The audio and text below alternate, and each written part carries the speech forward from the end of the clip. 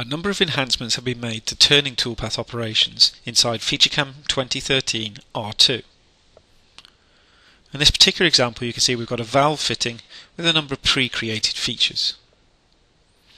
If I do a 3D simulation, play this through, you can see I've got a facing operation, an outside diameter turn, an internal bore and also a groove operation.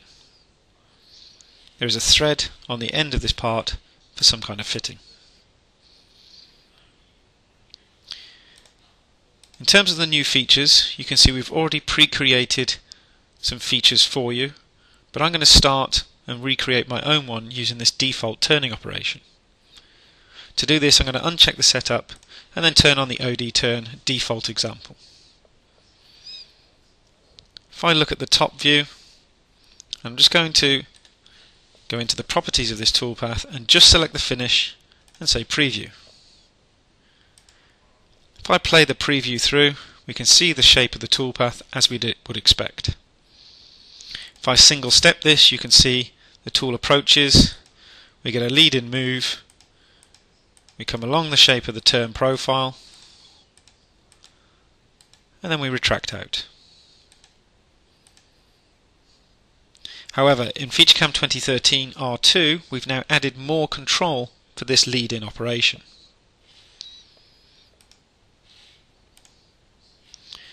You'll note that we have a new tab called Leads that's appeared for finishing operations.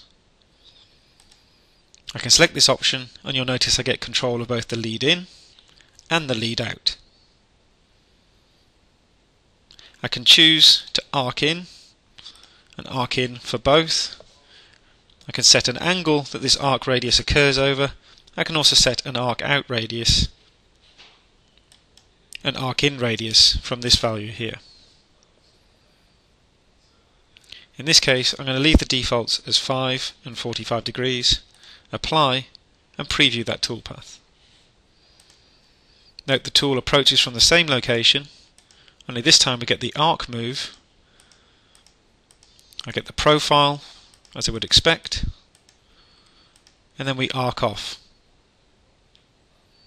This nice smooth transition allows us to machine longer parts in different segments. We then have a nice smooth transition into each segment to try and reduce any witness marks that might occur on the part when finishing.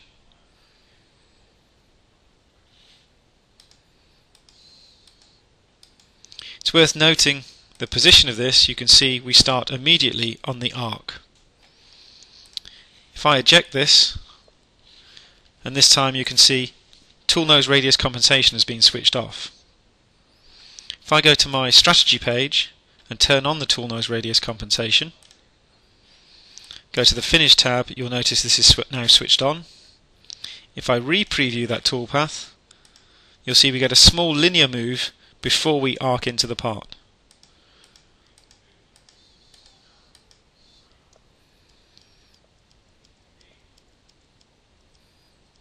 We also get the linear move at the end as well.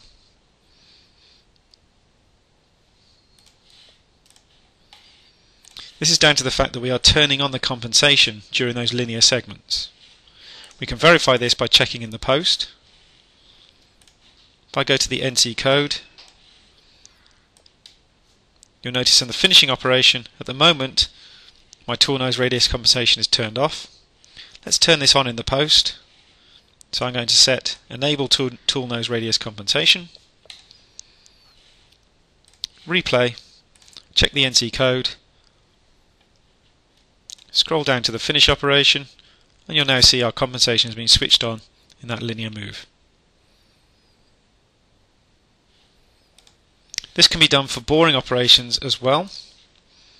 So in this case I've got a bore operation. Again if I preview the finish operation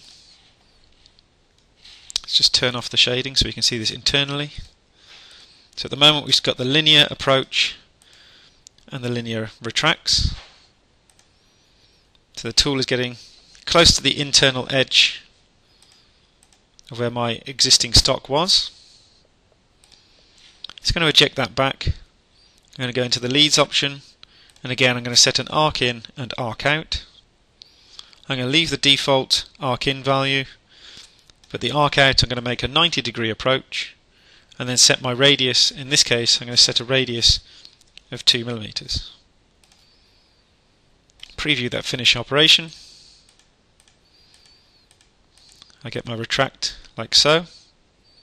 I also want to remove the clearance, I don't need that clearance value anymore. So I can go in and change the clearance value, maybe minimize that down to say 1 millimeter and preview again.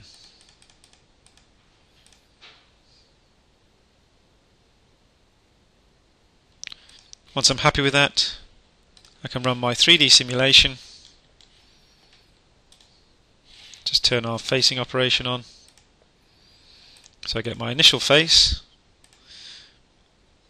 my roughing operation, I then get my arcing on to the part. And the same with the boring operation.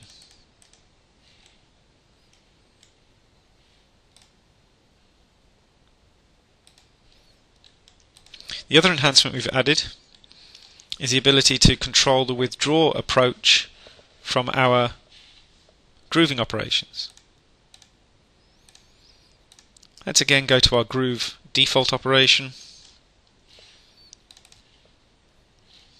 Preview this toolpath.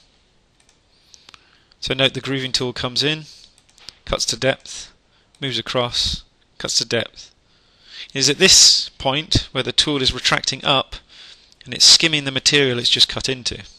There is nothing we can do about the first pass, but the subsequent passes we now have enough room to clear the tool backwards.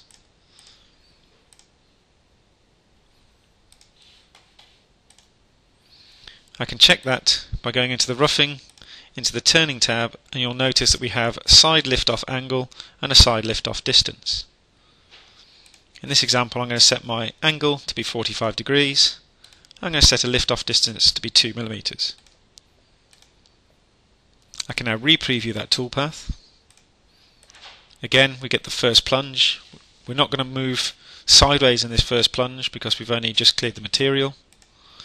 But now when we get to the second plunge, as we retract out, we use that lift-off angle to clear the part. This continues to repeat throughout the process.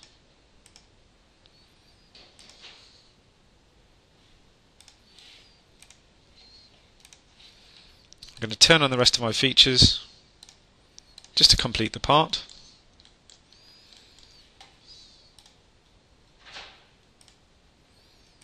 dropping my speed of simulation down to get my finished component.